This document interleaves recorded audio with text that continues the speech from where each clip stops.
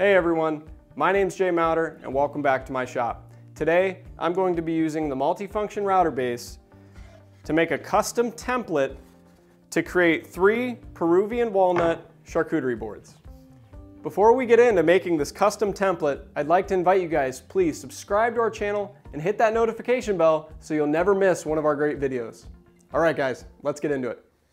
To get started, I cut down a piece of 3 8 inch thick Baltic birch plywood to 29 and 3 quarter inches square.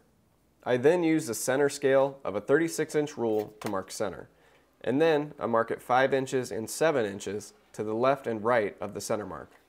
Once I had my marks, I traced those lines across the sheet using my TS32 to make a grid. At the time, I knew I wanted to make a unique charcuterie board, although I didn't really know where I was going with this. But for me, drawing a grid really helps to get the creative juices flowing.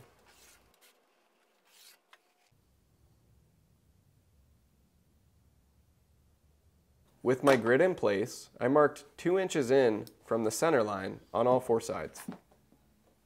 Now that I had some symmetrical lines established, I just grabbed my compass and started drawing a pattern that I thought looked cool. I wanted something unique, something that I haven't seen before.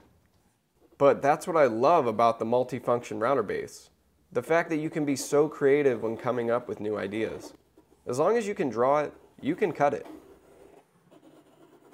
Using a compass while drawing things out is a huge help. It gives you that pivot point so you know exactly where to insert your trammel pin on your multifunction router base. And if you're sitting there wondering, what in the world is a trammel pin?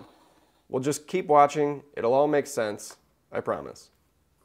Next, I used a center punch to mark all the holes I pivoted from. This gives me a better starting point so that my drill bit doesn't drift when I drill these holes all the way through. Now to protect my workbench, I laid down a piece of foam. Then I used an eighth inch drill bit to drill all the holes for the trammel pin. With my charcuterie board template all mapped out, it's time to get started. First, I have to figure out which of these four trammel points on the base I need to use to route my arc. I started by just hovering the trammel point over the hole and checking to see if my router bit could reach the line that I want to cut. Once I saw that it'll work, I screwed in my trammel pin with an Allen key and then inserted it into the pivot hole in the plywood. All that's left to do before cutting is to dial in my router using the micro adjuster. The micro adjust on this tool is phenomenal. It operates very smoothly and makes setting up my cuts a much more enjoyable experience. With the router unplugged, I like to turn the router bit so that I know that the top dead center of the bit is lining up with where I want to cut.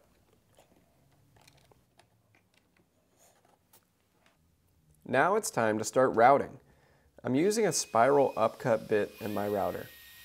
I like to start my plunge somewhere in the middle of the arc and then sneak up to the line where the arc transitions.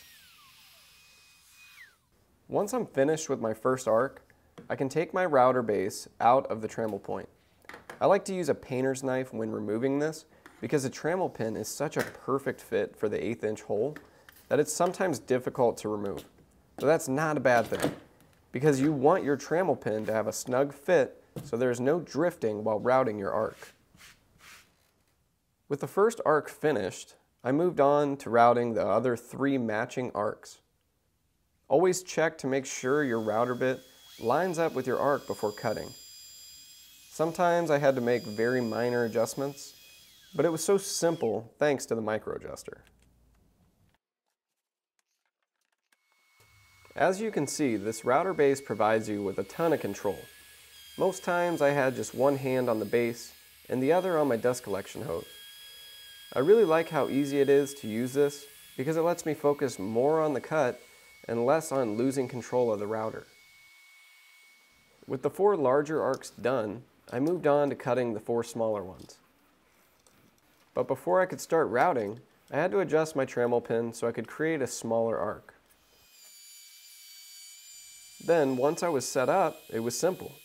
I just followed the circle around until it connected with the other arc. Now you may be thinking, why not just use a bandsaw and sand the line?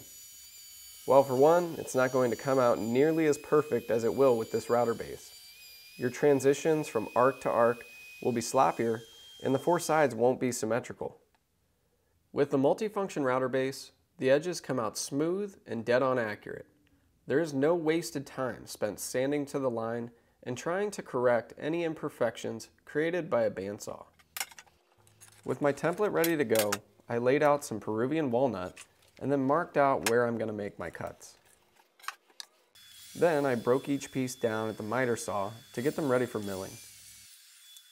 Next, I milled up all of the boards using my jointer, planer, and table saw. With the boards all squared up, I glued up the panels and let them sit for a few hours. Once the panels were ready, I took them out of the clamps and began tracing my template onto each panel. Then I took each one over to the bandsaw where I cut close to the line to remove the bulk of the material. Next, I added some double-sided tape to my template and then lined it up on my rough cut panel to get it ready for the router table. Here I'm using a flush trim bit to finish cutting the material so that it is a perfect match to the template.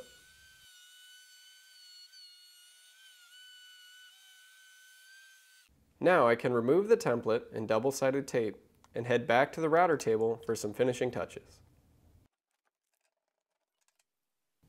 I installed a cove bit in my router table to route a groove on the bottom of the board. This will give me a nice place to slide my fingers in to pick up the board. Then I added a slight round over to the top to break any remaining sharp edges.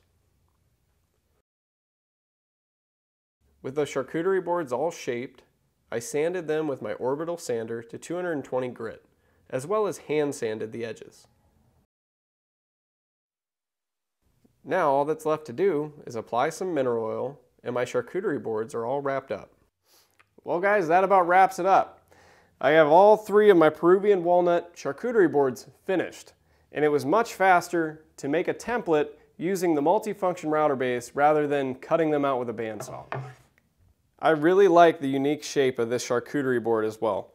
I got inspired to do this because me and my wife like to have different nuts, fruits, and cheeses and stuff all in different bowls. So I thought if I could put four different bowls and a main spread in the center, that would be good. And I like it. I'm also happy I have this template now. So if I want to remake this board a thousand times, I can. Now after watching this video, if you think the multifunction router base is right for you and you'd like to order one, there's a link right below this video to our website where you can purchase.